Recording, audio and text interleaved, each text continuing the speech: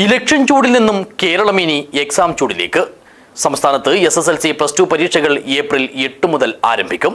കാസർഗോഡ് ജില്ലയിൽ നൂറ്റി അറുപത്തിരണ്ട് കേന്ദ്രങ്ങളിലായി പത്തൊൻപതിനായിരത്തി മുന്നൂറ്റി അൻപത്തിനാല് വിദ്യാർത്ഥികളാണ് ഇത്തവണ പത്താം തരം പരീക്ഷ എഴുതുന്നത്. മാർച്ച് മാസം പതിനേഴ് മുതൽ ആരംഭിക്കേണ്ടിയിരുന്ന S S L C plus two പരീക്ഷകൾ നിയമസഭാ തെരഞ്ഞെടുപ്പ് കണക്കിലെടുത്താണ് ഏപ്രിൽ എട്ടിലേക്ക് മാറ്റിയത്.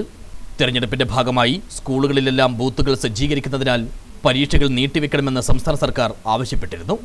ഇതിന് കേന്ദ്ര തെരഞ്ഞെടുപ്പ് കമ്മീഷൻ അനുവാദം നൽകുകയായിരുന്നു. എസ് എസ് എൽ സി പരീക്ഷ ഏപ്രിൽ എട്ട് ഒൻപത് പന്ത്രണ്ട് തീയതികളിൽ ഉച്ചയ്ക്ക് ശേഷവും മറ്റു ദിവസങ്ങളിൽ രാവിലെയുമാണ്. വിഷുവിന് ശേഷം ഒന്നിടവിട്ട ദിവസങ്ങളിലായിരിക്കും S S L C higher secondary പരീക്ഷകൾ. റംസാൻ വ്രതം കണക്കിലെടുത്താണിത്. ഏപ്രിൽ മുപ്പതിന് പരീക്ഷ അവസാനിക്കും.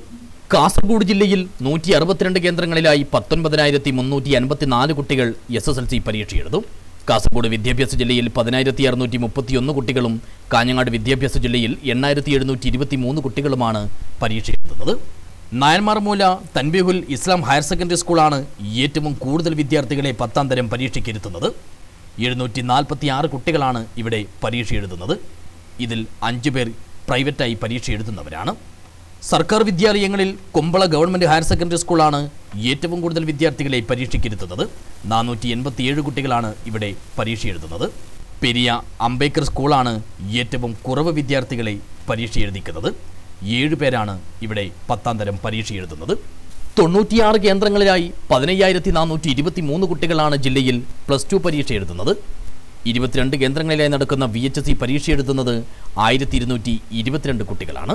കാസർഗോഡ് ജില്ലയിൽ പരീക്ഷയ്ക്കുള്ള എല്ലാ മുന്നൊരുക്കങ്ങളും പൂർത്തിയായതായി ജില്ലാ വിദ്യാഭ്യാസ ഉപഡയറക്ടർ കെ വി പുഷ്പ അറിയിച്ചു.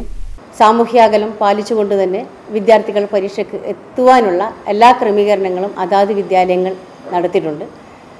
അത് മോണിറ്റർ ചെയ്യാൻ വേണ്ടി അതാത് ഓഫീസർമാർ ഉപജില്ല വിദ്യാഭ്യാസ ജില്ലാ ഓഫീസർമാരെ ചുമതലപ്പെടുത്തിയിട്ടുണ്ട്.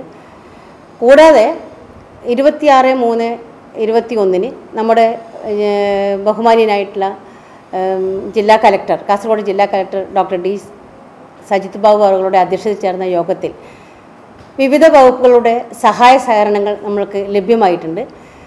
പോലീസും അതേപോലെ തന്നെ ഹെൽത്തും എല്ലാ തരത്തിലും ബാങ്കുകളിൽ നമ്മൾക്കറിയാം ഈ ചോദ്യ പേപ്പറൊക്കെ സൂക്ഷിച്ചിട്ടുള്ളത് ട്രഷറികളിലും ബാങ്കുകളിലുമാണ്.